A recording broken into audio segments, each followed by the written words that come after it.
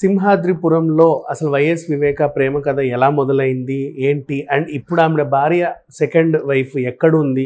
ఏం చేస్తుంది? ఈ వివరాలు మాట్లాడడానికి మనతో పాటు సీనియర్ జర్నలిస్ట్ దాము బాలాజీ గారు ఉన్నారు. నమస్తే సార్.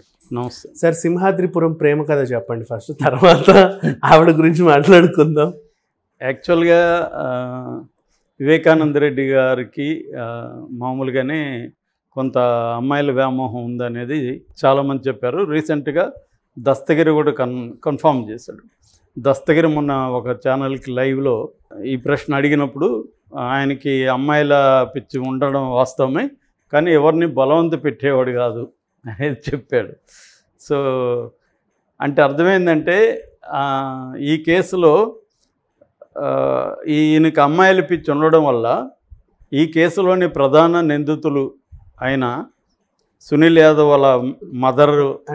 వేధించాడని ఉమాశంకర్ రెడ్డి వల్ల భార్యని వేధించాడని మనకి ఆరోపణలు వచ్చాయి at the same time Dastagiri వాంగ్మూలంలో కూడా ఫస్ట్ సునీల్ యాదవ్ ఆయనని ముఖం మీద గుద్దులు పిడిగుద్దులు గురిపిస్తున్నప్పుడు కూడా నా నీకు మా అమ్మ కావాల్సి వచ్చిందరా అని కొట్టాడు అనేది కూడా దస్తగిరి వాంగ్మూలంలో కూడా ఉన్నట్టు మనం చదివాం సో ఏదేమైనా ఆయనకి అమ్మాయిల వ్యామోహం ఉందని ఆయన ఎక్కడన్నా ట్రైన్లో వెళ్తున్నా కూడా ఎవరో ఒక అమ్మాయిని తీసుకుని వెళ్ళేయడం అని రకరకాల పుకార్లు ఉన్నాయి వాటిలో ఎంత నిజాలు అనేది మనకు తెలియదు. అయితే ఆయన రెండో పెళ్ళి చేసుకున్నాడు ఒక ముస్లిం అమ్మాయిని అని వార్తలు బయటకు వచ్చాయి. ఆ అమ్మాయి పేరు షేక్ షమీమని. తను కూడా షేక్ అక్బర్గా మార్చుకున్నట్టుగా మనకి చెప్పారు. వాళ్ళకి ఒక కొడుకు కూడా ఉన్నాడని షహన్షా అలియాస్ అస్లాం అని చెప్పారు. అయితే ఇది ఎప్పుడు బయటకు వచ్చిందంటే ఫస్ట్ టూ థౌజండ్ ట్వంటీ టూలో ఫిబ్రవరి ట్వంటీ ఫస్టున ఈ కేసులో ఐదవ ముద్ద అయిన దేవిరెడ్డి మోహన్ రెడ్డి ఆయన ఆ దేవిరెడ్డి వాళ్ళ భార్య సారీ దేవిరెడ్డి శివశంకర్ రెడ్డి. ఆ దేవిరెడ్డి శివశంకర్ రెడ్డి వాళ్ళ భార్య Devireddy Tulasamma Pulivendula first class magistrate కోర్టులో ఒక అఫిడవిట్ వేసింది. నా భర్త నిర్దోషి ఆయనకి బెయిల్ బెయిల్ ఇవ్వండి ఆ అఫిడవిట్లో ఆమె ఫస్ట్ టైము ఈ షమీము ప్రస్తావన తీసుకొచ్చింది. ఆమె ఏం చెప్పిందంటే షమీమని షేక్ షమీమని వివేకానంద రెడ్డి గారి రెండో భార్య ఉంది. ఆయనకు వాళ్ళిద్దరికి ఒక కొడుకున్నాడు. ఆ అబ్బాయి పేరు అస్లాం అలియాస్ షహన్సా. తన ఆస్తి అంతా వాళ్ళకి ఇచ్చేస్తారని చెప్పి వివేక కూతురు సునీత ఆమె భర్త నర్రెడ్డి రాజశేఖర్ రెడ్డి ఇద్దరు కలిసి మొత్తం హత్య పథకాన్ని రచించి హత్య చేయించారు. ఆ కోణంలో విచారించాలి. అంతేగాని మా హస్బెండ్కి ఏం సంబంధం లేదు అనేది ఆమె అఫిడవిట్లో వేసింది. అప్పుడు మొట్టమొదటిసారిగా ఈ విషయాలు బయటకు వచ్చాయి ఆ తర్వాత ఇటీవల last month fourth time CBI విచారణకు వచ్చిన అవినాష్ రెడ్డి కూడా ఇప్పటివరకు నేను మా ఫ్యామిలీ విషయాలు ఎందుకు బయట పెట్టాలని బయట పెట్టలేదు ఇప్పుడు నాకు తప్పట్లేదు అని చెప్పి ఇదే స్టోరీని ఆయన కూడా చెప్పాడు. అయితే మన సంబంధించి ఈ షేక్ షమీం గురించి వివరాలు ఇంతకంటే ఎక్కడ బయట రావట్లేదు.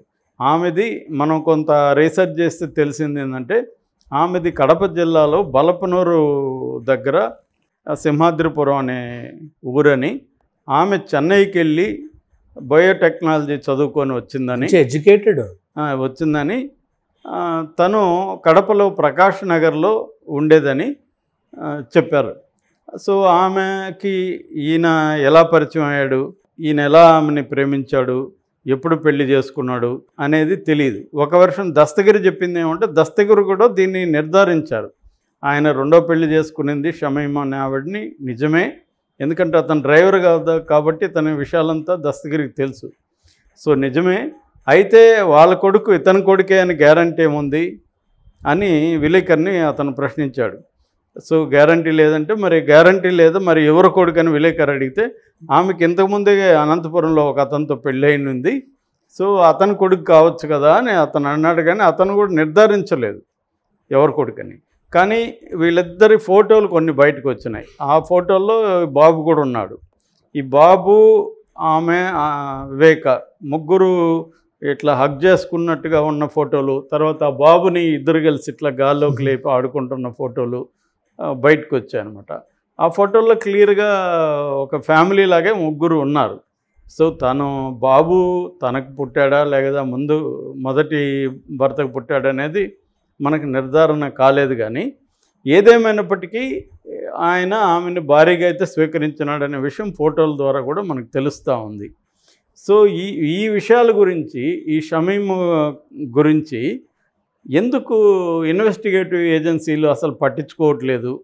అసలు ఆమె ఉందా లేదా అనేది ఒక ప్రశ్న ఇప్పుడు బిగ్ ప్రశ్న. ఎందుకంటే ఆమె ఉన్నట్టు ఎక్కడ ఆధారాలు కానీ ఏమి కనబడలేదు. తర్వాత ఈ ఫోటోలు తర్వాత ప్రజెంట్.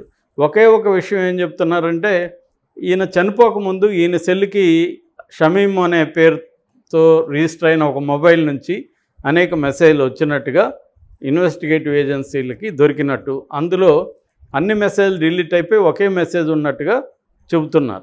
మరి ఆ వైపుగా ఎందుకు సిబిఐ కానీ అంతకుముందు సిట్టి కానీ ఎందుకు విచారించలేదనేది ఒక బిగ్ క్వశ్చన్. అట్లాగే సునీత కూడా ఈ విషయం మీద నోరు తెరవట్లేదు ఇప్పటివరకు. అసలు అది నిజమా అబద్ధమా కూడా ఖండించట్లేదు. కానీ మనకి సర్కమ్స్టాన్షియల్ ఎవిడెన్సెస్ చూస్తే ఈయన భార్య కూడా సౌభాగ్యమ్మ ఆయనతో లేదు. ఎప్పటి నుంచో హైదరాబాద్లో కూతురు అల్లుడు దగ్గరే ఉంది. అది కూతురు కూడా నిర్ధారించింది. ఎందుకంటే ఈ మరణ వార్త తెలిసినప్పుడు మా ఇంట్లోనే ఉంది మా అమ్మ మా అమ్మకు కూడా మా ముఖాలు చూసి డౌట్ వచ్చింది. ఆమె కూడా ఇండిపెండెంట్గా వివేక పిఏకి ఫోన్ చేసి కనుక్కున్నది మేమందరూ కలిసి పులివెందులు బయలుదేరినాం అనేది సునీత ఇంటర్వ్యూలో చెప్పింది. సో అందువల్ల ఈ షమీము అండ్ షమీం కొడుకు ఆస్తుల గురించి గొడవలు వచ్చాయనేది ప్రధానంగా అటువైపు క్యాంపు అవినాష్ వైపు క్యాంపు ఆరోపిస్తున్నారు. దస్తగిరి లాంటి వాళ్ళు చెప్పింది కూడా ఏంటంటే ఈ బెంగళూరు ల్యాండ్ ప్రాపర్టీ పంచాయతీ కానీ తేలినాక అందులో వచ్చే డబ్బులతో ఒక రెండు కోట్లు ఈమెకి ఇస్తానని హామీ ఇచ్చినట్టుగా చెబుతున్నారు. ఎవరు వివేక హామీ ఇచ్చినట్టుగా. తర్వాత కొడుకును కూడా హైదరాబాద్ పబ్లిక్ స్కూల్లో చేర్పించడానికి ట్రై చేస్తున్నట్టు కూడా మనకి విషయాలు తెలిసాయి. ఏదేమైనా ఎందుకు ఈ యాంగిల్లో సిబిఐ కానీ అంతకుముందు సిట్ కానీ పరిశోధించలేదు? పరిశోధించి వీళ్ళ గురించిన సమాచారాన్ని ఎందుకు బయట పెట్టట్లేదు ఈ కేసులో అనేది ఒక పెద్ద క్వశ్చన్ మార్క్గా ఉంది. ఇవాళ ఆమె బతుకుందా లేదా అనేది కూడా ఒక బిగ్ క్వశ్చన్ మార్క్ అది బేసిక్గా ఆ అబ్బాయి కూడా ఉన్నాడో లేదో తెలియదు. అండ్ సునీతారెడ్డి వైపు నుంచి కూడా ఒక స్టోరీ ఉంది. వీళ్ళు చంపాలనుకున్నట్టుగా ఒక ఒక. కథ ఉంది. ఆమె చంపింది అన్నట్టుగా ఒక కథ ఉంది. ఎంతసేపు వీళ్ళు అవినాష్ రెడ్డి అవినాష్ రెడ్డి దస్తగిరి దగ్గరే ఉన్నారే తప్పితే ఇటువైపు అసలు రావట్లా. అసలు వేరే యాంగిల్ అంటే మల్టీ డైమెన్షనల్గా ఈ కేసును చూడలేదేమో అనిపిస్తుంది. చూడట్లేదు సార్ ఎవరు. సుప్రీంకోర్టు కూడా అదే కదా నిన్న ఉన్న? సుప్రీంకోర్టు ఏం చెప్పింది? మీరు ఎంతసేపటికి ఇది రాజకీయ కోణంలోనే చూస్తున్నారు. దానికి సంబంధించి కూడా ఏమీ మీరు ఎస్టాబ్లిష్ చేయలేదు అని చెప్పి సో ఇన్వెస్టిగేటివ్ ఆఫీసర్ కరెక్ట్గా లేడని ఆ రామ్ సింగ్ని మార్చి వికాస్ సింగ్ని పెట్టారు చౌరాసి ఆధ్వర్యంలో. కానీ సేమ్ అదే కంటిన్యూ చేస్తున్నారు తప్ప వీళ్ళు వెళ్ళి మళ్ళీ విచారణ అనేది వేరే డైమెన్షన్లో కొనసాగినట్టే కనబడదు. అట్లాంటప్పుడు ఇప్పుడు చనిపోయినప్పుడు ఒక హతుడు ఉంటే అతని సెకండ్ వైఫ్ని ఎందుకు ప్రశ్నించకుండా ఉన్నారు? చెయ్యాలి. ఎవరైనా కూడా ప్రశ్నించాలి కదా? అండ్ ఫస్ట్ తెలుసుకున్న కూతురికి ఫోన్ వెళ్ళింది కాబట్టి వాళ్ళు కూడా వాళ్ళని కూడా. ప్రశ్నించాలి. ఆ యాంగిల్లో కూడా ప్రశ్న ఇప్పుడు రకరకాల ఆరోపణలు వచ్చినప్పుడు ఆ ఆరోపణల్ని నువ్వు ప్రశ్నించి దాని వైపు ఇన్వెస్టిగేట్ చేసి ఇక్కడ ఇది జరగలేదు ఇదంతా ఏం లేదు మీరు చెప్పిందని చెప్పాలి. ఆ ఇన్వెస్టిగేటివ్ చేసినట్టుగానే ఏమీ మనకు తెలియదు. మేబీ రేపు అప్పటి ఇప్పటికే రెండు ఛార్జ్ షీట్లు పెట్టేస్తున్నారు. ఈ రెండు ఛార్జ్ షీట్లో కూడా ఇన్వెస్టిగేషన్ ఇటువైపు వెళ్ళినట్టుగా కనబడట్లేదు మనకి. ఈ రెండు ఛార్జ్ షీట్లో కూడా అవినాష్ రెడ్డి పేరు కానీ భాస్కర్ రెడ్డి పేరు కానీ లేవు.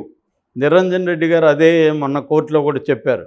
రెండు ఛార్జ్ షీట్లో వీళ్ళ పేరు లేకుండా సడన్గా తర్వాత ఎందుకు యాడ్ చేస్తున్నారు అనేది వాళ్ళు చెప్పారు. సో సిబిఐ ఇన్వెస్టిగేషనే మల్టీ డైమెన్షన్లో వెళ్ళట్లేదు. యూనిట్ డైమెన్షన్లోకి వెళ్తుంది సింగిల్ డైమెన్షన్కి వెళ్తుంది అనే విమర్శలు వస్తున్నాయి. మనలాంటి సామాన్యులకు కూడా అదే నిజమేమో అనిపించేట్టుగా ఉంది అనమాట ఎంతసేపు ఒకే యాంగిల్లో వెళ్తుంది బేసిక్గా.